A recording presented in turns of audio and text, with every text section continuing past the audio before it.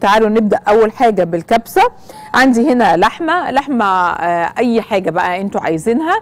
آه، ضاني آه، كندوز بالعظم من غير العظم براحتكم خالص.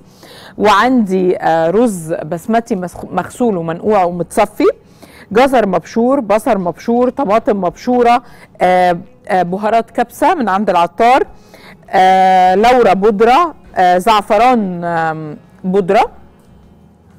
مستكه ملح وفلفل حبهان بودرة آه، قرنفل لومي اللي هو ال- الليمون المجفف آه، عود قرفة ولوز محمص للتقديم. فين اللوز يا هدى؟ شكرا. هناخد زيت طبعا تقدروا تستخدموا زبدة إذا حبيتوا. هناخد هنا زيت. بسم الله الرحمن الرحيم. معلقة كبيرة زيت.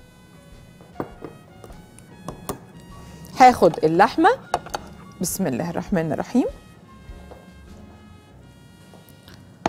مم. لسه ما سخنتش خالص.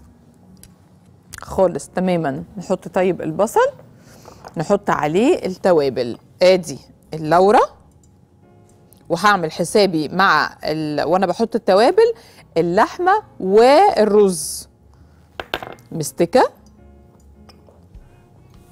قرنفل لومي. حبهان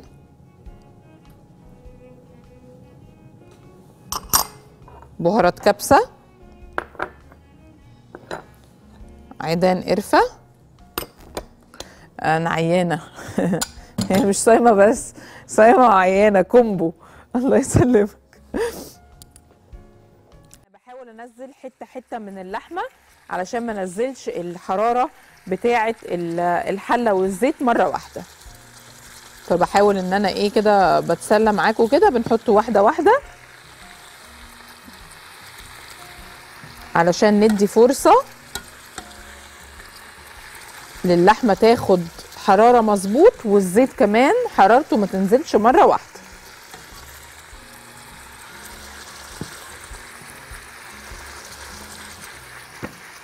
وهحط كمان ملح وفلفل طبعا على تتبيلة البصل اللي إحنا آه، حطينا عليها كل التوابل. هن- هنضيف دلوقتي ملح وفلفل كمان قبل ما ننسى.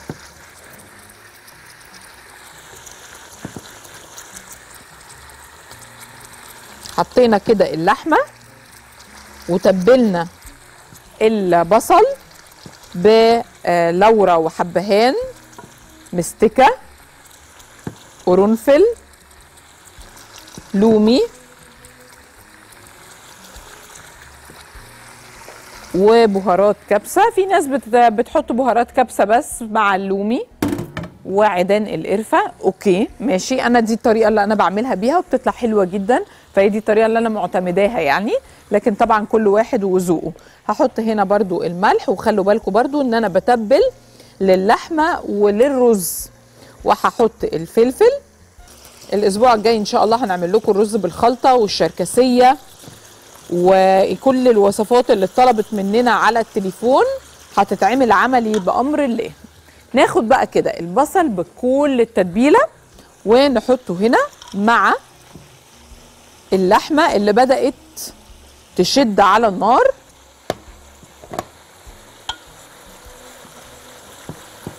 وهقوم منزلة عليهم الجزر.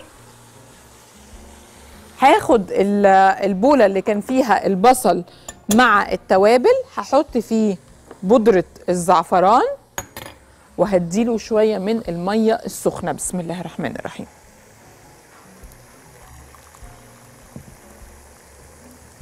نخلي المية عشان هنست- هنستخدمها ونشيل التوابل. حطينا كده البصل حطينا التوابل مع اللحمة والزيت وحطينا عليهم الجزر كمان. هبتدي أقلب بقى. خلاص أنا كده إيه مطمئنة إن الدنيا إيه حرارتها مظبوطة. أبتدي أقلب أنزل عليهم الطماطم المبشورة وأنزل عليهم المية اللي فيها بودرة الزعفران. وأقفل الحلة يا ندى عشان عايزة آخد غلوة للحمة علشان طبعا اللحمة مش هتاخد نفس مدة الرز هتاخد أكتر فلازم أغليها غلوة الأول وبعدين أبتدي اسقط بقى الرز وأكمل. اولا ال- اللحمة أهي دخلت في التسوية. ثانيا شوفوا لي كمية المية اللي نزلت منها علشان كده الكبسة ما بنحط لهاش نفس مقدار المية بتاع الرز البسمتي العادي اللي هو لكل كوباية كوباية ونص من المية أو كوبايتين حسب نوع الرز. لأنه في لحمة هتنزل ميتها وفي خضار هينزل ميته.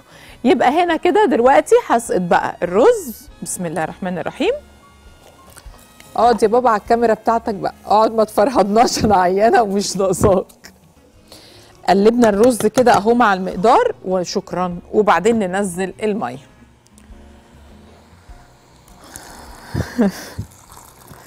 الصبر من عندك يا رب.